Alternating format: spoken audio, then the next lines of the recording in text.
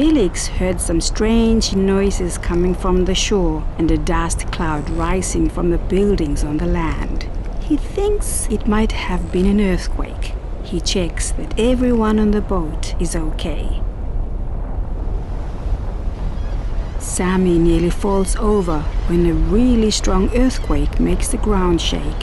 He knows that there might be a tsunami after an earthquake, and so he drops his fishing spear and starts running inland. He makes sure the other people on the beach start running inland as well.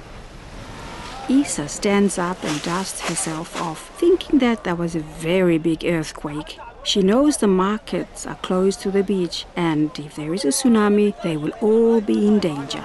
She raises the alarm and helps the injured people evacuate into the hills.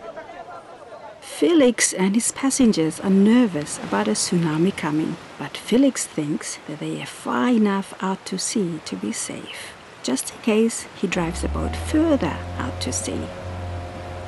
Sammy and Isa are helping everyone evacuate up into the hills. Along the way, they have picked up some first aid supplies food and bottles of water. They reach the top of the hill and turn back to look at the ocean. They can see a huge wall of water coming across the beach and can hear a very loud roar. They have made it to safety just in time. In the next few hours, there are two more big waves and then the ocean is quiet.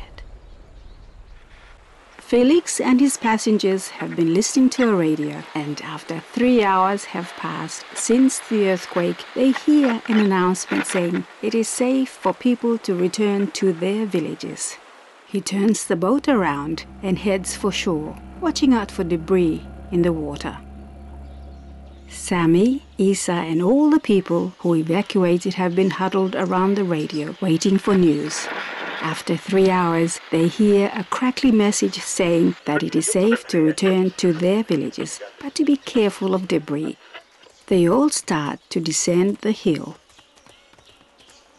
Everyone in the village survived because Felix, Sammy, and Isa knew what the warning signs of a tsunami were and how to evacuate.